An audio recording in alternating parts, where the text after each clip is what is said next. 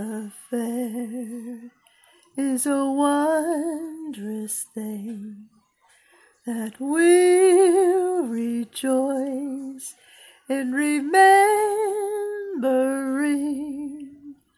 Our love was born with our first embrace and a page was torn out of time and space.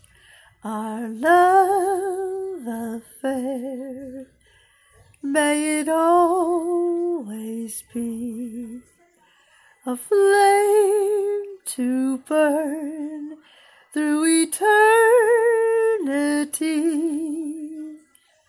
So take my hand with a fervent prayer that we may live and we may share a love affair to remember.